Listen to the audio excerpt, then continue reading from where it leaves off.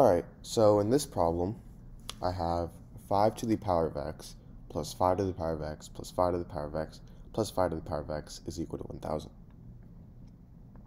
So, the first thing I'm going to do is I'm going to factor out 5 to the power of x from my left-hand side. So now I'm going to have 5 to the power of x times, well, 5 to the power of x divided by 5 to the power of x is 1.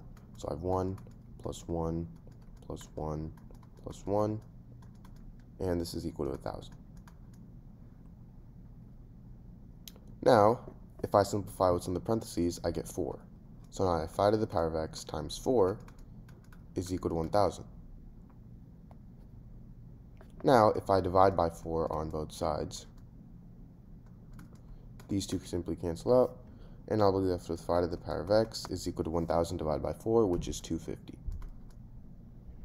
So I have 5 to the power of x is equal to 250. So now I'm going to take the log on both sides, so I have log 5 to the power of x is equal to log 250. And if I have something in the form log a to the power of b, I can simply move this exponent b to the front, so this is going to equal b times log a.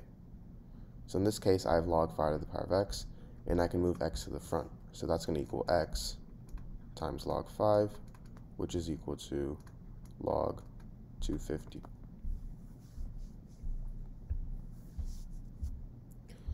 So 250, that's the same thing as 5 times 5 times 5 times 2. And 5 times 5 times 5, I can rewrite that as 5 to the power of 3 times 2. Now, if I have something in the form log a times b, this is equal to log a plus log b. So in this case, I have log 5 to the power of 3 times 2, and I can rewrite that as log 5 to the power of 3 plus log 2.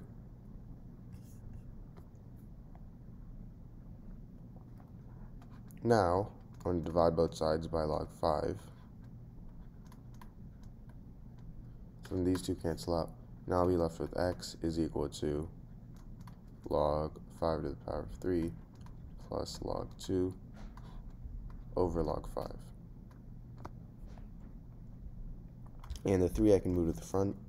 So now I'm going to have x is equal to 3 times log 5 plus log 2 over log 5. Now, I can rewrite this as 3 log 5 over log 5 plus log 2 over log 5. Now these two log 5s can cancel out, so I'll be left with 3 plus log 2 over log 5. And log 2 over log 5, I can rewrite as log base 5 of 2.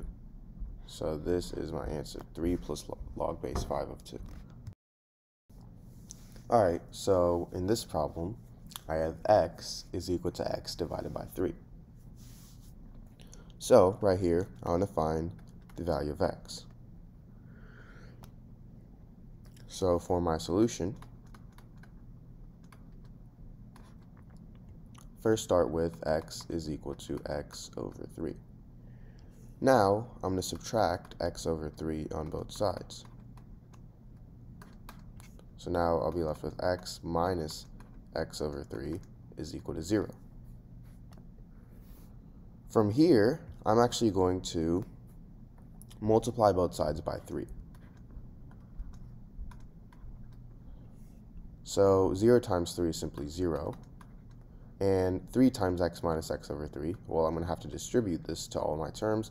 3 times x is 3x, and negative x over 3 times 3. These two 3's cancel out, so I'll simply be, just be left with negative x. So I have 3x minus x equals 0. 3x minus x is 2x, so I have 2x equals 0. So to solve this, I'm going to divide both sides by 2. These two cancel out, and I'll be left with x is equal to 0 divided by 2, which is 0. So now the second method of actually solving this problem, my original problem was x equals x over 3. So this time, instead of subtracting x over 3 on both sides, I'm simply just going to multiply both sides by 3. So now I have 3 times x is equal to x over 3 times 3.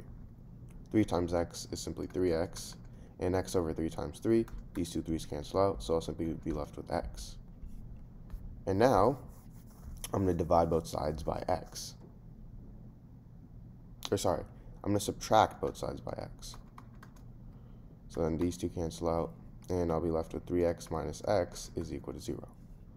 Well, 3x minus x is simply 2x. So I have 2x equals 0. And now if I divide both sides by 2, these two cancel out. I'll be left with x is equal to 0 divided by 2, which is 0. So that's the second method of solving this problem. So now to check, I had x is equal to x over 3. We know that x equals 0. So now I have 0 is equal to 0 over 3. Well, 0 divided by any number is equal to 0. So I have 0 equals 0, and because this is right, my solution is right. Alright, so in this problem, I have 4 to the power of x is equal to 8. So I want to find the value of x. For my solution, first start with 4 to the power of x is equal to 8. And 4, this is the same thing as 2 to the power of 2. And 8, this is the same thing as 2 to the power of 3. So now if I replace 4 with 2 to the power of 2, and I, if I replace 8 with 2 to the power of 3, I get 2 to the power of 2 to the power of x is equal to 2 to the power of 3. Now, if I have something in the form a to the power of m to the power of n, this is simply equal to a to the power of m times n. So 2 to the power of 2 to the power of x, that's going to equal 2 to the power of 2 times x, which is 2, simply 2x, which is equal to 2 to the power of 3.